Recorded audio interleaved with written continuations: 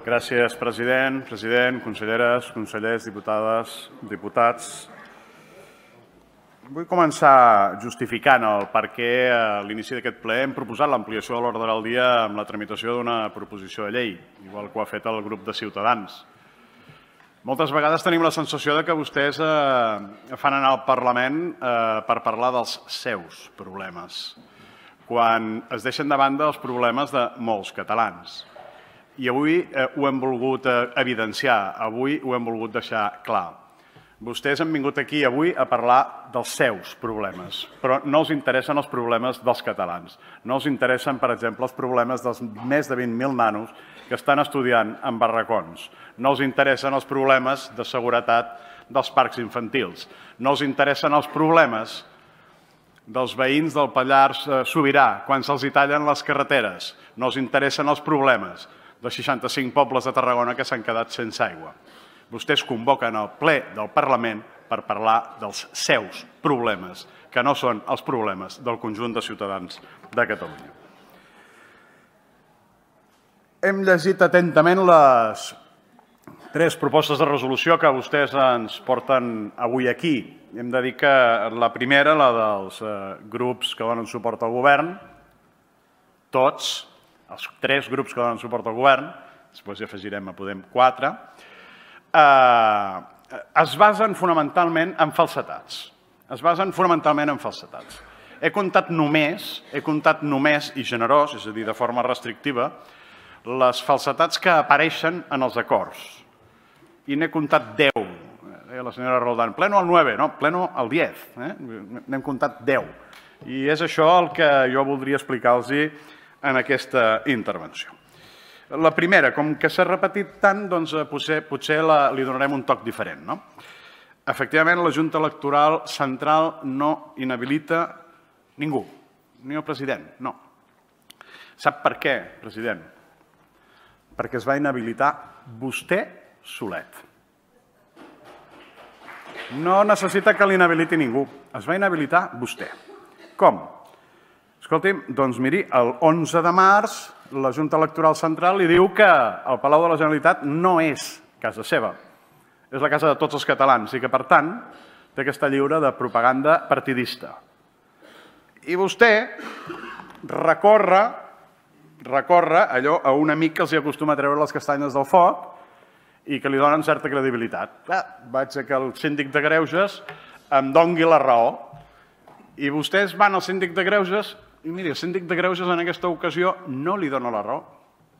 I li diu, president, faci cas de lo que li mana la Junta Electoral Central.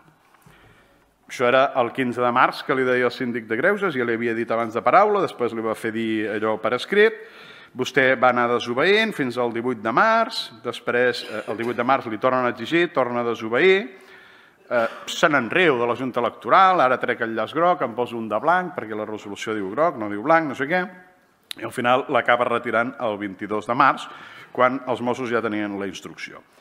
Ho torna a fer el mes d'octubre.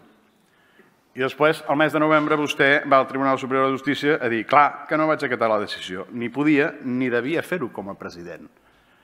Què vol dir? Que vostè, com a president davant de la justícia, té un estatus diferent que tenim la resta eh, de catalans?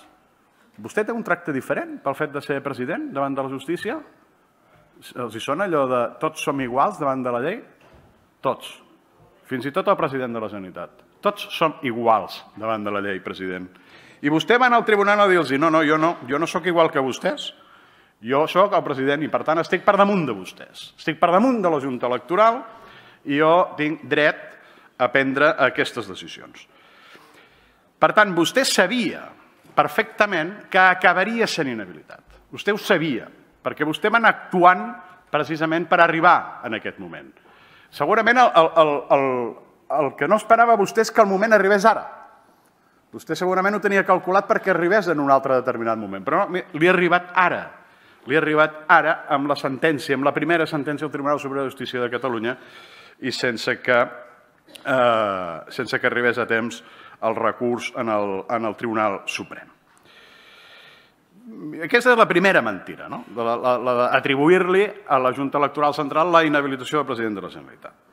Però n'hi ha més mentires, o, o com a mínim nosaltres ho entenem així. Eh, posant una proposta de resolució que el Parlament de Catalunya ratifica eh, com a diputat eh, Joaquim Torra, el president de la Generalitat, vostès poden quedar satisfets, però saben que això no té absolutament cap mena de valor jurídic.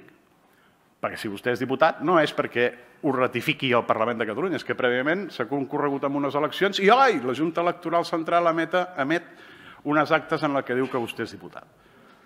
La mateixa Junta Electoral que en algun moment diu, escolti, doncs miri, ara vostè no és eh, diputat perquè no compleix els requisits. Què és el que ha fet ara la Junta Electoral? Igual que atorga eh, les actes, treu les actes si no es compleixen les lleis eh, electorals. No? Per tant, vostès poden ratificar el que vulguin eh, com a diputats, que són diputats, uns sí, uns altres no, poden ratificar el que vulguin, però no té absolutament cap mena de valor jurídic. Tercera falsetat, i aquí eh, aprofito també per parlar de les propostes de resolució de, de Podem i del Partit Socialista, perquè és comuna. No? Eh, la, la, la dels grups que donen suport al govern diu el marc jurídic aplicable al president de la Generalitat només és la llei de presidència i el reglament. No, mentira el president de la Generalitat no té un... O sigui, evidentment té un estatus institucional eh, que reconeixem absolutament tots, però davant de la llei és exactament igual que tothom. I, per tant, el president de la Generalitat sí, està sotmès a la llei de la presidència, al reglament del Parlament, però també a l'Estatut, també a la Constitució, també a la llei electoral. Eh, per tant, no ignorin la llei electoral, la llei orgànica de règim electoral, que té el mateix rang legislatiu que el mateix Estatut, llei, a la llei orgànica, exactament té el mateix rang. Per tant, no ho ignorin, la llei electoral. Quarta falsetat. Es refereixen a Puigdemont i a Comín com a eurodiputats en compliment de la sentència del Tribunal de Justícia de la Unió Europea. Oh, carai, doncs ja m'explicaran quina sentència han llegit, perquè jo me l'he llegida eh, i en cap lloc parla ni de Comín ni de Puigdemont. En cap lloc. Però, a més, fixi's que li dic, si ho són, si ho són, com diu la consellera de la presidència, deuen estar cometent un delicte electoral perquè continuen sent diputats en el Parlament de Catalunya i no han renunciat al seu escó.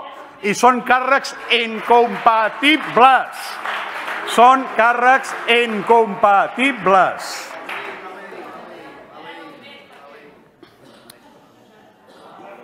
Perquè no ho són. Perquè no ho són. Amb rigor, amb rigor, sí, sí, tot el rigor, no pateixin. El rigor és el que els hi demano jo, que els estic relatant les falsetats que vostès han expressat en una proposta de resolució. També es refereixen a Junqueras, diu, el Tribunal, el Tribunal de Justícia de la Unió Europea diu que Junqueras és eurodiputat. No, el Tribunal, el Tribunal de Justícia de la Unió Europea diu que Oriol Junqueras tenia dret a la immunitat en un moment determinat. No diu que ara sigui eurodiputat. Per tant, rigor, efectivament, rigor, senyor Puigneró, rigor. Després continuen, després continuen amb la seva proposta, diuen, escolti'm, és que la, la, la, parlen de que hi ha una negativa sistemàtica de la Fiscalia General i de l'advocacia de l'Estat a retirar les ordres de presó. Ah, però si les ordres de presó, qui les dicta i qui les retira són els jutges, ni la Fiscalia ni l'advocacia de l'Estat. Què tenen a veure? Ah, que és que com que els socis eh, ara estan a bones perquè necessiten els seus vots, igual la Fiscalia o l'Advocacia de l'Estat doncs, eh, poden admetre segons quines instruccions per fer segons què els interessa a vostès. Però no menteixin, ni la Fiscalia ni l'Advocacia General de l'Estat poden retirar les ordres de presó perquè les dicta i les retira el jutge instructor, no aquests organismes. Seguim parlen de la causa general contra l'independentisme. Ja s'ha dit diverses vegades, eh, saben perfectament que no hi ha cap causa general contra l'independentisme. Hi ha el judici de persones que fan coses que són il·legals i que són qualificades de delictes i que els tribunals jutgen i que en alguns casos condemnen i en d'altres potser no condemnaran, però en alguns casos condemnen. I si condemnen és perquè consideren que ha quedat provat que hi ha hagut delicte. I és això del que estem parlant. No estem parlant d'una causa general, contra l'independentisme. Seguim. Parlen vostès de, contínuament de repressió. N'hem parlat també moltes vegades. No, no hi ha repressió. En tot cas, i ho dèiem recentment en un ple, els que podem parlar de repressió som tots aquells catalans que ens sentim absolutament ignorats per aquest govern. Sí, perquè ens sentim reprimits per aquest govern que no atén les necessitats que té la ciutadania de Catalunya. I fa un parell de plens doncs, fèiem un reguitzell de situacions. No hi ha repressió, i ho saben perfectament. Reconeixement del dret a l'autodeterminació. Som-hi una altra vegada, vinga, no n'hi ha hagut prou. President Torra, eh, doni'ls una classe del que és el dret a l'autodeterminació, com vostè feia l'any 2012, que deia que no existia i no està reconegut en lloc. Eh, Expliqui'ls en privat, no cal que hi hagi mitjans de comunicació, que no es gravi ningú, i vostè els hi explica, escolti, és que això del dret a l'autodeterminació no està reconegut en lloc i no està reconegut en lloc. bueno, sí que està reconegut per les colònies, però vaja, he mirat la llista de colònies reconegudes per les Nacions Unides i no he vist Catalunya. No l'he trobat, perquè no som una colònia. Com volen ser una colònia si una part important del govern, una part important dels seus grups parlamentaris participa de la governabilitat d'Espanya? Això no hi cap dintre de les colònies, això no passa dintre de les colònies. Home, i els que diguin que són... bueno, ho deixo estar. Uh, seguim. I segueixen, i segueixen uh, amb el tema de l'amnistia pels presos. Bueno, l'amnistia, ja ens ho explicaran, uh, on està reconegut en el nostre ordenament jurídic que es pugui uh, fer una amnistia pels presos. Eh? I sota quin criteri? Perquè suposo que deu ser un criteri polític, no? Vostès decideixen a quins presos se'ls amnistia i a quins presos no se'ls amnistia. Jo crec que n'he citat 10, potser m'he descomptat i n'he citat algun més, és possible, perquè n'hi ha tantes de, de, de falsetats que eh, em puc haver descomptat. No? Per tant, president, vostè ens deia o demòcrates o mentiders. Miri, jo com a mínim, com a mentider, no m'hi sento. Em sento més aviat demòcrata. Per tant, vostès mateixos sabran qui són els mentiders. I acabo posicionant-nos sobre bueno, sobre la proposta de Podem, jo crec que ja he comentat algun dels aspectes, aquest, assumir aquest marc, però bueno, tampoc no ens estranya, sabem que doncs, vostès estan a partir un pinyó amb el, amb el govern de la Generalitat, eh, els hi pujaran els impostos, tot allò que vostès vulguin i més, i estan a partir un pinyó i per tant tampoc no els poden fer enfadar, llavors vostès assumeixen perfectament les seves tesis i vostès estan encantats de conèixer i de que el senyor Iglesias i el clan de Galapagar arribin als ministeris. Escolti'm, doncs, molt, molt lloable. Eh, escolti'm, ja prendrem alguna pastilla per dormir, eh, que em sembla que és el que correspon fer, no? I ens preocupa més la posició del Partit Socialista, perquè també assumeixen, també assumeixen eh, aquest discurs dels grups eh, separatistes.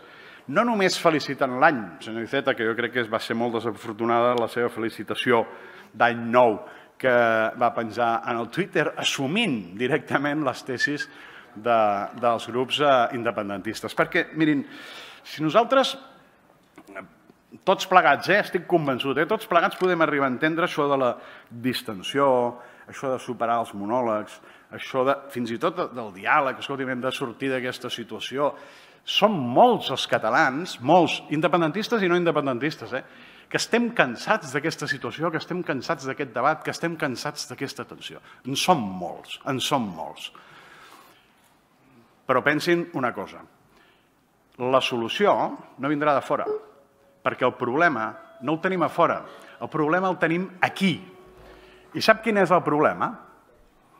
la manca de lleialtat del govern i la manca de lleialtat del president. I em diran, manca de lleialtat amb qui? Doncs miri, no els hi citaré, ho podria fer, eh? no els hi citaré ni amb l'Estatut, ni amb la Constitució, ni amb aquest mateix Parlament. No, no. Manca de lleialtat amb el conjunt de la societat catalana, més de la meitat del qual se sent desemparada i se sent orfa de govern i de president de la Generalitat. Crec, molt sincerament, que mereix que li donguin un tom a l'estratègia que vostès estan utilitzant i intentin buscar les solucions, insisteixo, no fora d'aquí, perquè les solucions tenen que sortir d'aquí. Recordin, no tot s'hi val per arribar a governar a qualsevol preu. Gràcies.